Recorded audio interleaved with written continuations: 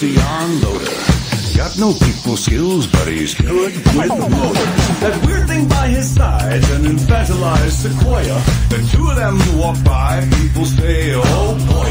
They ask me why I'm bringing a baby into battle. That's really irresponsible and getting them rattled. I say, give me a break. Get off of my back, damn it. I didn't